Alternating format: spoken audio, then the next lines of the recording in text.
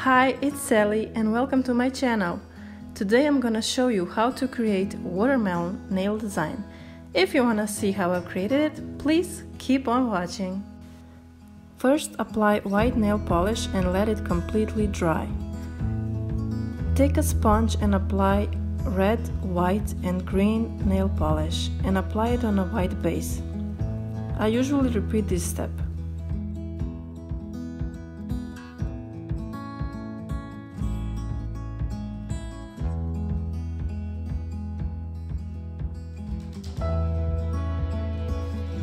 With a black polish, draw three little lines for seeds.